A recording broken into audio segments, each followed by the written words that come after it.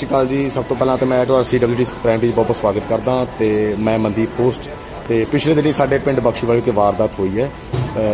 Acid accident ਹੋਇਆ ਜਿਸ ਵਿੱਚ ਇਹ ਮਰੀਜ਼ ਨੇ ਤੇ ਇਹਨਾਂ ਦੀ ਆ ਹਾਲਤ ਹੋ ਚੁੱਕੀ ਹੈ ਤੇ ਆਓ ਗੱਲਬਾਤ ਕਰਦੇ ਨੇ। ਹਾਂਜੀ ਸਤਿ ਸ਼੍ਰੀ ਅਕਾਲ ਜੀ। ਤੁਹਾਡਾ ਸ਼ੁਭ ਨਾਮ ਸਰ ਕੀ ਹੈ? ਜਾਸੀਨ ਖਾਨ। ਅੱਛਾ ਤੁਹਾਡੀ ਇਹ ਜੋ ਹਾਲਤ ਹੈ ਕਿਸ ਤਰ੍ਹਾਂ ਹੋਈ ਹੈ?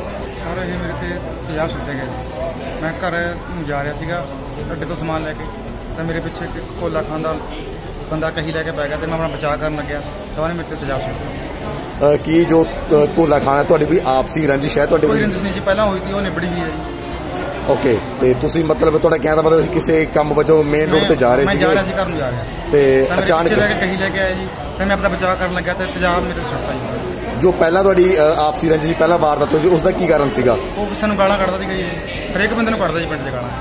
ਕਿਸੇ ਬੰਦੇ ਨੂੰ ਪੁੱਛ ਲਓ ਜੀ ਪਿੰਡ ਦੇ ਵਿੱਚ ਹਰੇਕ ਬੰਦੇ ਨਾਲ ਇਹਦੀ ਬਣਦੀ ਕਿਸੇ ਨਾਲ ਨਹੀਂ। ਕੀ ਇਹ ਮਾਨਸਿਕ ਸੰਤੁਲਨ ਸਹੀ ਹੈ ਜੋ ਇਹੋ ਜਿਹੀ ਵਾਰਦਾਤ ਕਰ ਰਿਹਾ ਪਿੰਡ ਵਿੱਚ ਇਹ? ਕੋਈ ਹੋਰ ਕੰਮ ਵੀ ਕਰਦਾ ਉਹਨਾਂ 'ਚ ਗੜਬੜ ਨਹੀਂ ਕਰਦਾ ਜੀ ਕੋਈ ਇਹ। ਉਹ ਵੀ ਸਹੀ ਕਰਦਾ। ਦੁੱਧ ਵੇਚਦਾ ਵਪਾਰ ਕਰਦਾ ਡੰਗਰਾਂ ਦਾ ਉਹ ਸਹੀ ਕਰਦਾ। ਤੇ ਪੁਲਿਸ ਪ੍ਰਸ਼ਾਸਨ ਵੱਲੋਂ ਤੁਹਾਡੀ ਕੀ ਮੰਗ ਹੈ ਇਸ ਟਾਈਮ ਸਾਡੀ ਮੰਗ ਇਹ ਹੈ ਵੀ ਕਾਰਵਾਈ ਹੋਣੀ ਚਾਹੀਦੀ ਹੈ। ਠੀਕ ਹੈ ਜੀ।